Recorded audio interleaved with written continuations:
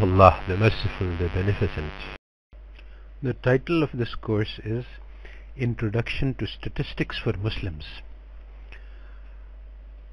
The goal of the course is to present the material of an introductory undergraduate first course in statistics to an audience of Muslim students. In this first lecture, our goal is to explain why it makes a difference that this course is targeted for Muslim students. Upon hearing this title, the first question that would occur to everyone is why do we restrict the audience to be Muslims? Why not teach statistics to everyone? The goal of this first lecture is to answer that question. So basically the answer is that Islam has a unique approach to teaching and learning and actually what we consider knowledge as Muslims is quite different from what is regarded as knowledge in the West. Our Prophet Muhammad was sent as a teacher and he was the best of teachers. So he not only gave us the most perfect and complete message of Allah, but he also taught us how to teach and how to learn. All of this methodology is often in conflict with Western methodology of education and the Western approach to teaching and learning. One of the most fundamental differences is that a Muslim assumes the validity of the teachings of Islam without any question. As opposed to this, in the West, the only things which are admissible are those which are based on observations and knowledge and one cannot cite the Quran or Hadith or universally accepted Islamic principles to support any idea in a Western tradition. So the second misconception which has been created by the secular orientation of Western education is that there are areas of knowledge which have no relation to religion. In Islam, all our activities in life, whether it is teaching or learning or anything else, all of it is subject to our deen. And in fact all of our life is meant only for worship. So there can be no realm of our life which is separate from deen which is independent of deen and which makes no reference to deen. This is entirely opposed to the fundamental idea of secular thought that there are two compartments of life one compartment is an area which is completely independent of deen, about which deen has nothing to say, and there is another compartment which is our private personal life in which Islam has guidance for us to offer. So we reject this secular idea that there are domains of knowledge which have nothing to do with Islam and that already differentiates what uh, the Islamic approach to education is from a secular approach. Islam describes very clearly the purpose of our life and asks us to take all actions in order to achieve this purpose. According to Western secular teaching, life was created by an accident and uh, there is no purpose, there is no meaning of existence. So this question cannot be considered within a Western educational approach. So an Islamic approach, we must think carefully about what is the goal of our life and how this education will help us to achieve this goal. So the first thing is to understand the purpose of life and uh, one of these purposes is mentioned under the word ihsan which means to live as if we are aware of the presence of God.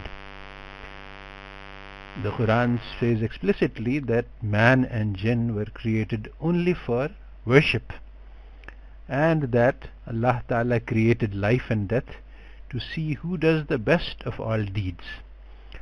So all our actions must be worship and furthermore we should try to do them in the best of all possible ways uh, both of these things are possible only for a Muslim audience because only a Muslim audience can study in a way that it becomes worship and only Islam tells us how to do this studying in such a way that it becomes a good deed.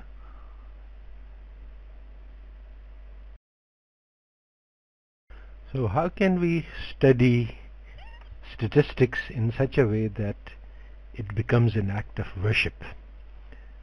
in accordance with the hadith, إِنَّمَا الْأَعْمَالِ بِالنِّيَّاتِ it is essential that our intention should be purely for the sake of the pleasure of Allah. So we have to seek to fulfill the orders of Allah.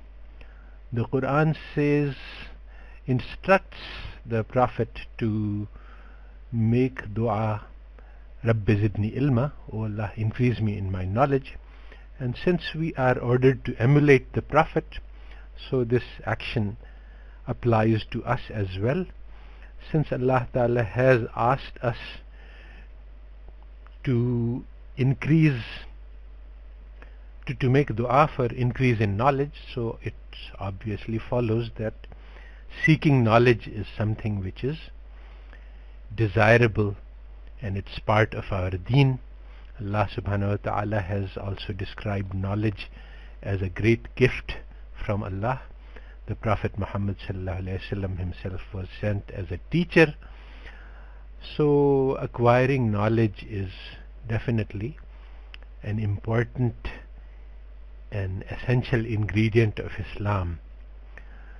Now, what is the purpose of acquiring knowledge? Well, there are many purposes uh, which are valid and uh, recommended. Among them an important one is that man has the potential to be the best of creation. Also he has the potential to be the worst of creation. In order to learn how to be the best of creation, we have to acquire knowledge. Now, one portion of the knowledge is the eternal portion, which is the Quran and the Hadith. But there is also another portion of knowledge which we must uh, struggle to acquire. And this we might term as local knowledge.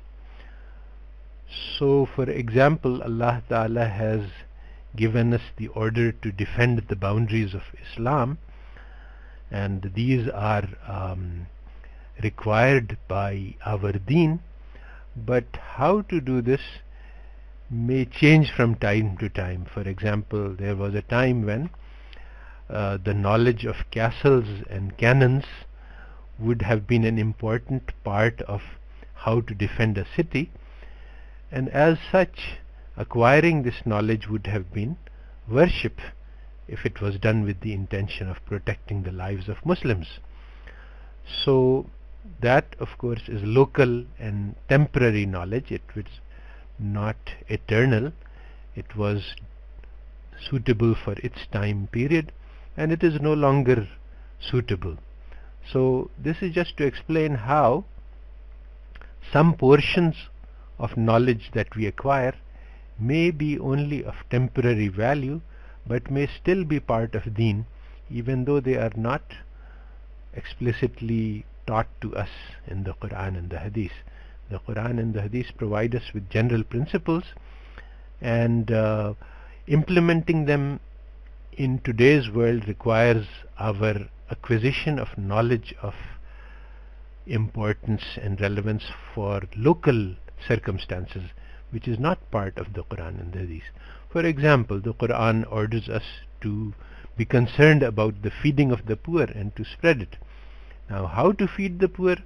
This might require today understanding agriculture, understanding what Monsanto is doing in terms of its uh, genetic engineering, how to produce better crops, many other things might involve understanding current politics and how distribution of food takes place and many contemporary facts which are not part of Quran and Hadith but nonetheless in order to implement this order of feeding the poor we must acquire this knowledge and if this knowledge is acquired for the purpose of implementing this order then this will become worship.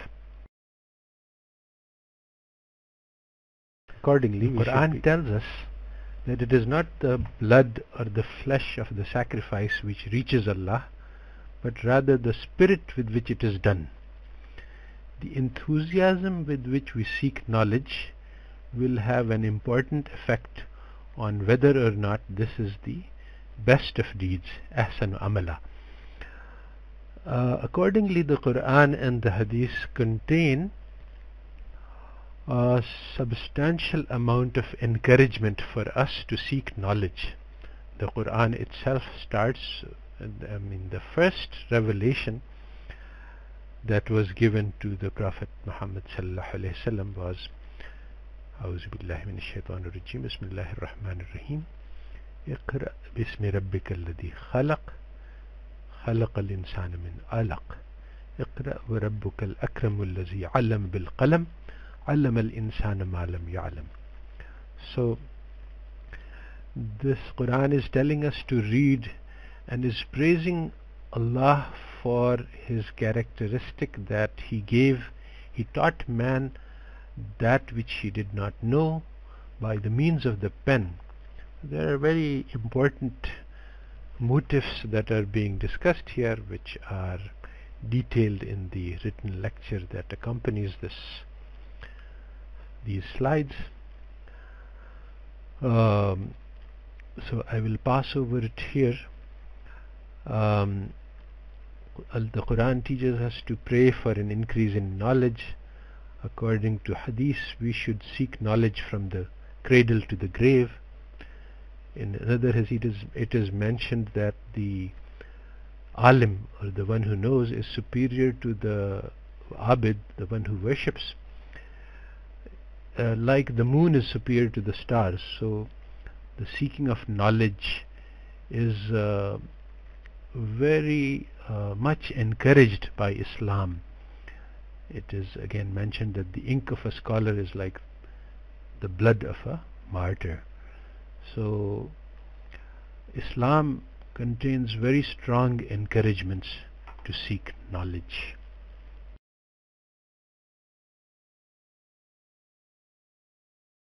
The coming of Islam about 14 and a half centuries ago brought a revolution to the planet. At that time the Arabs were the most backward people living on the planet. At the same time there were four civilizations which had achieved great advances the Greeks, the Romans, the Persians, the Chinese, the Egyptians had philosophy, culture, literature, technologies, and many accomplishments. Arabs were backwards and ignorant Bedouin living very simple lives. They were illiterate. They were quite savage, burying their daughters alive and killing each other for minor um, minor battles. Islam the knowledge that was imparted to them by Islam led them to world leadership and Muslims or the Islamic civilization was dominant on the planet for a thousand years. So it was prophesied that Islam came as a stranger and will become a stranger. And it appears today that Muslims have lost this knowledge which led them to world leadership. So we have to reacquire the principles of learning which led Muslims to world leadership 14 centuries ago as these principles are just as valid today as they were when they first came and they have the same potential today as they did in the period of the Jahiliyyah. So in order to create this revolution we must change our conception of knowledge. We must realize that the purpose of knowledge is self-purification, tazkiyah, how we can become better people. Uh, it is spiritual advance and transformation, how we can grow as spiritual beings. Again, this concept has been lost in the West. It is just like an adult person has knowledge which he cannot give to the child. It requires certain amount of growth before uh, the child has the maturity and the capability of understanding certain types of knowledge that mature adults have. In the same way, the spiritual growth, growth creates uh, a kind of knowledge which it is impossible to impart to those who do not have sufficient spiritual development. So it was the acquisition and the transmission of this spiritual knowledge which changed the world. So in our acquiring knowledge we must make the intention to achieve this transformation for ourselves and to impart it to others as this is the process which will revolutionize the world. Western views on the purpose of an education are radically different from Islamic views and accordingly the methodology of learning and teaching is also radically different. We summarize some of the main differences in this uh, slide. Uh, first of all, in the West, uh, education is valued according to the amount of money that it can make. At the moment in Stanford, for example, while there is a huge uh, boom in the number of students seeking admissions and engineering and many other um, fields which earn a lot of money are doing very well at exactly the same time enrollment in humanities is declining the professors of the humanities have gotten together to combat this decline but the main idea for how to combat is to prove that with a degree in humanities you can also make money. They do not seek to promote humanities as a alternative and uh, as of importance in and of itself as opposed to this in Islam we seek knowledge for spiritual advances and for personal transformation and for learning how to change the world for the better uh, these are rather different from learning for the sake of making money. Um, we seek an education in order to serve Allah and one of the ways to serve Allah is by serving the creation of Allah because all of the creation is called as the family of Allah in one narration. As opposed to this, in the West, uh, knowledge and education is a means to career advancement. It's a means to earning profit by from the ignorance of others. It's a mean of acquiring fame, something which is strictly prohibited in the Islamic tradition. Uh, according to Islamic traditions, uh, learning for the sake of, of fame or learning for the sake of disputing elders and uh, respected seniors is actually prohibited. Uh, Islam teaches us to concentrate on acquiring useful knowledge and to avoid useless knowledge. There is several prayers of the Prophet Muhammad to this effect where he seeks useful knowledge from Allah and seeks protection from useless knowledge. In contrast to this, in the West, all of the knowledge is considered useful because there is no purpose. Useful or useless is always according to purpose. So, a knowledge is useful if it helps us to achieve a certain purpose, and useless if it cannot help us to achieve that purpose. However, if there is no purpose to learning, as the Western secular tradition holds, then all knowledge is on equal grounds. Similarly, in the West, the approach to knowledge and the attitude towards knowledge is that one should be a neutral and detached observer. Um, it is held that it, in the Western tradition that you cannot be engaged because that will cause bias in your acquisition of knowledge. In your acquisition of knowledge, However, Islam tells us that we must be engaged.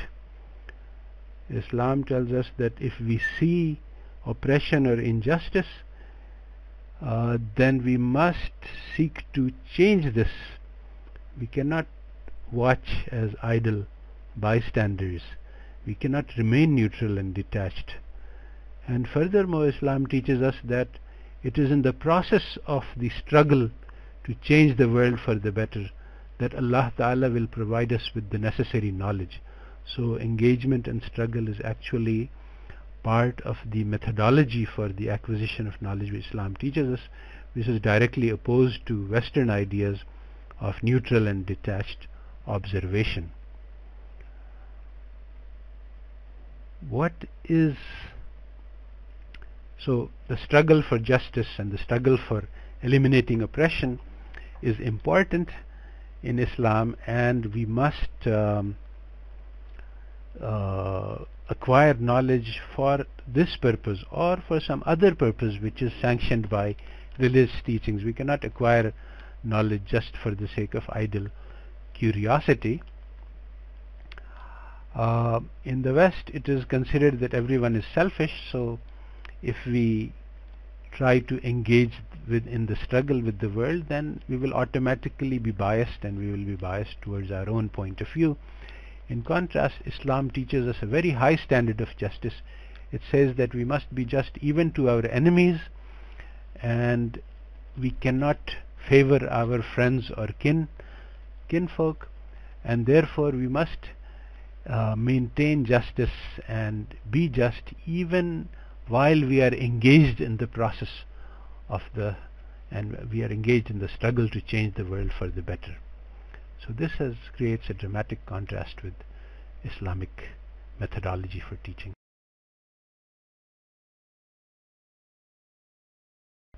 As already mentioned, the Western conception of what is knowledge differs radically from the Islamic conception.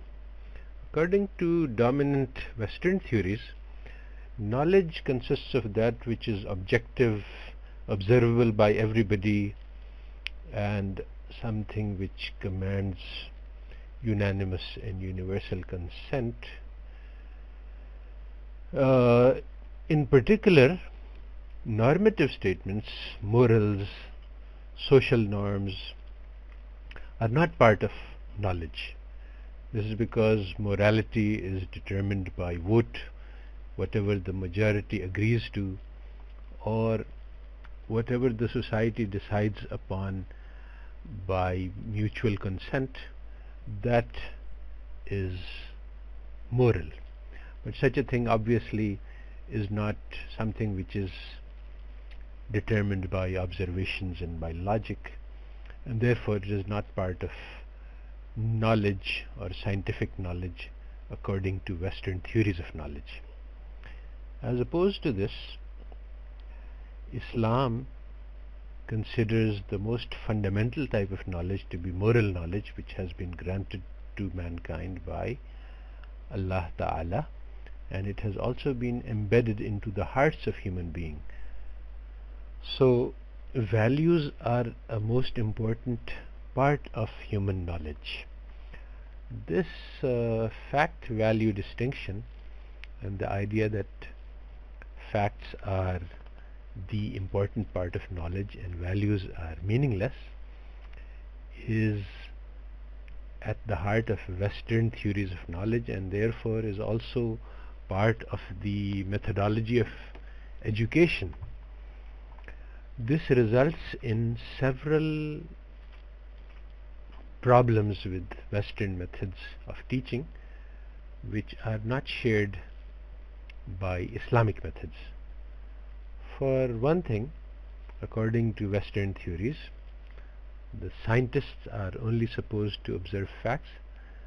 It is uh, since norms and values are not part of science, uh, scientists in their capacity as scientists don't uh, invoke normative considerations in the study of society or particles.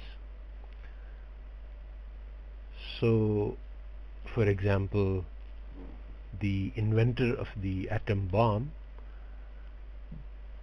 was just doing science and the fact that this atom bomb might be used to kill people was not part of his concern. That is something that others who make value based decisions or policy decisions are responsible for. In Islam, all participants in an act share the responsibility for it. So the person who witnesses a transaction of interest is also equally responsible in the social consequences of the deed. The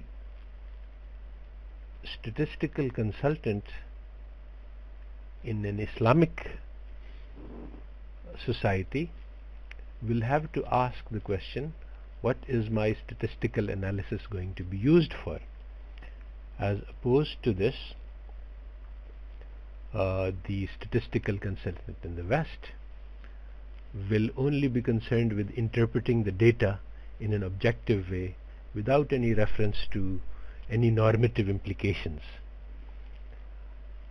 So this creates a great difference in our responsibility as statisticians. If somebody is going to use our data analysis to do some injustice or oppression, for example, suppose that we believe that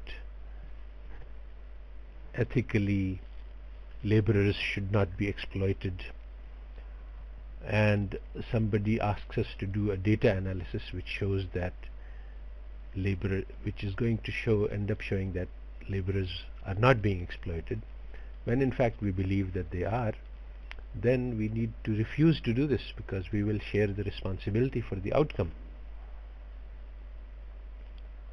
Uh, in addition to this practical matter, there is also the uh, theoretical matter that in fact, according to Islam, the most important type of knowledge is moral knowledge. And this is the type of knowledge that was given to the Prophet Muhammad by Allah. And this is the type of knowledge which revolutionized the world. Uh, in our point of view in the Islamic point of view Uh, we choose data because it is relevant to our moral, moral concerns. We don't, uh, data is not objectively given to us in advance. Rather, we look at those aspects of the data which are relevant to solving issues that are of importance to us, where the important concerns are defined by Islamic context. According to Western theories, facts are objective and uh, opinions are unimportant, where opinions also includes moral ideas and values. So there is a very big difference between Western ideas of knowledge and Islamic ideas of knowledge. I have shown elsewhere that in fact it is impossible to do as the West suggests and study purely facts without any reference to values because the way we select the facts and the way we present them will automatically uh, represent value judgments. So what the West says overtly about the fact-value distinction is not actually followed in their own um, analyses and I have shown in different papers how values are hidden and embedded in Western theories which appear to have a factual appearance. But this topic is too complex for our first lecture. References are available in the write-up for this lecture.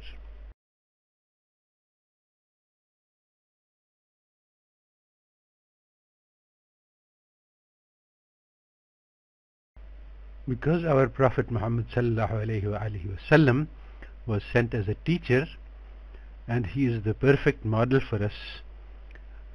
So Islamic law or Sharia contains a lot of information about the process of teaching and learning. From these we can derive rules for conduct for teachers and students. These are so extensive that it is impossible to summarize them here. We will just highlight a few important issues which differentiate Islamic methodology for teaching from Western methodology. As far as the teacher is concerned, he is to regard the students as precious. Uh, according to Hadith, people are mines of gold and silver. That is, if we develop them properly, then rare and unexpected uh, treasures will be discovered in the process. So the teacher has to value the potential of each student and treat them with respect and courtesy.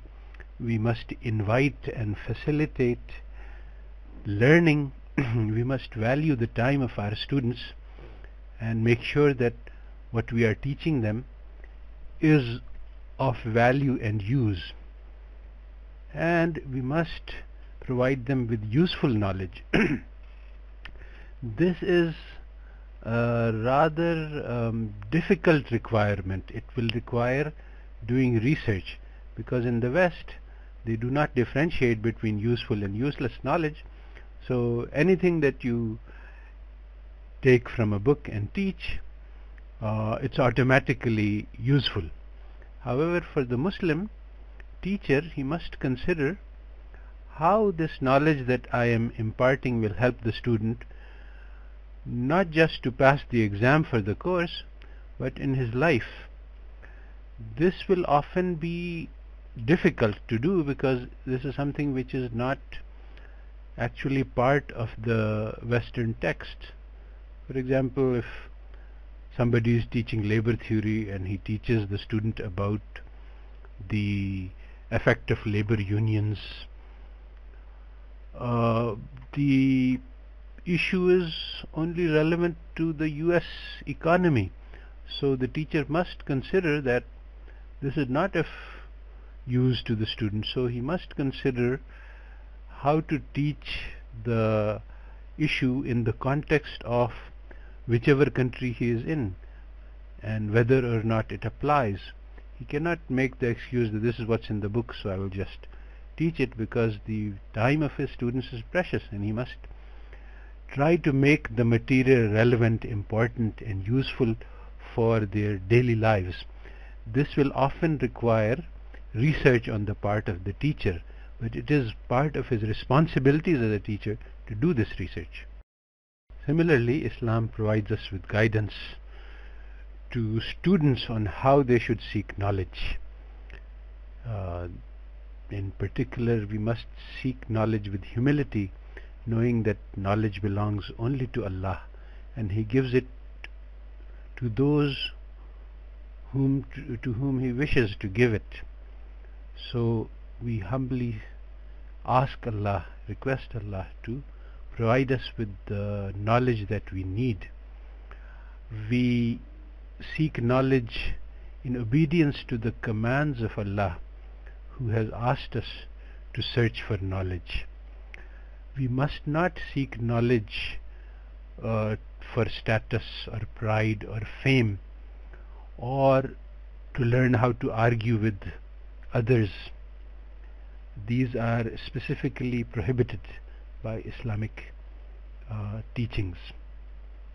And we must uh, seek knowledge with enthusiasm and accept any effort or sacrifice or struggle, understanding that this is a great treasure of Allah. In fact, uh, the ayat وَالَّذِينَ جَاهَدُوا فِينَا لَنَهْدِيَنَّمْ سُبُلَنَا suggests that those who have that the knowledge will be given to us in the process of the struggle to acquire the knowledge of Allah or to become closer to Allah. So knowledge is very action oriented in the Islamic conception. It is not passively learned by studying books, but it is acti actively learned by engaging in the process of struggling with the world in the manner desired by Allah subhanahu wa ta'ala and in the manner demonstrated by the Prophet Muhammad sallallahu alaihi wasallam.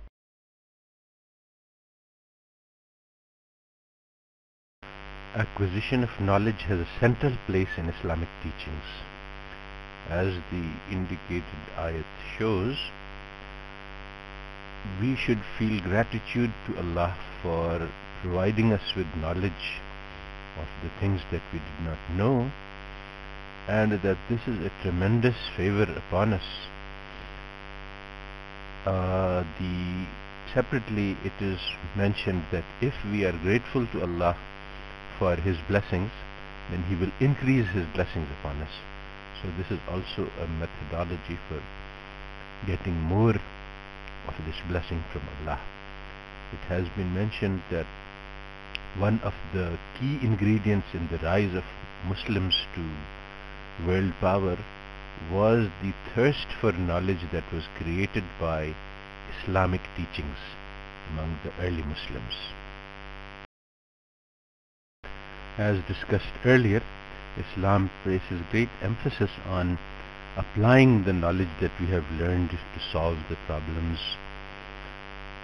and this action-oriented approach distinguishes Islamic approach to knowledge from Western approaches.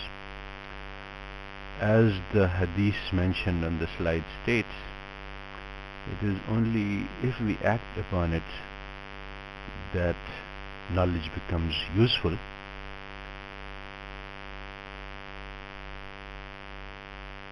This places a burden on both the teacher and the student. The teacher is responsible to make sure that the knowledge he is imparting is of the kind which is practical and useful and the student must make the intention that he will use the knowledge acquired to serve the ummah in the best possible way. To summarize, the goal of this lecture was to show that the approach to teaching and learning for Muslims is radically different from that currently in use in the West. For the most fundamental thing, the act of teaching and the act of learning is an act of worship and therefore in performing these tasks we must be guided by the sunnah of our Prophet Muhammad sallallahu who was the best of teachers. To put it in more concrete terms, uh, in the West, uh, the idea of secular thinking developed in the past few centuries that there were some areas of life and some areas of knowledge which were independent of religion. In those areas, such as economics, physics, chemistry, mathematics, etc., religion has no role to play. This is a big mistake. This is not correct. According to Islam, all of no the knowledge belongs to Allah. Uh, the Quran mentions the forging of steel as a knowledge given by Allah to human beings, one of His prophets. And so we cannot accept the secular idea of the separation of domains of knowledge. Once we realize that all knowledge is integrated and there is only one type of knowledge, then it is necessary that Muslims, when we study any field, we use we, we, we use the Islamic rules for education.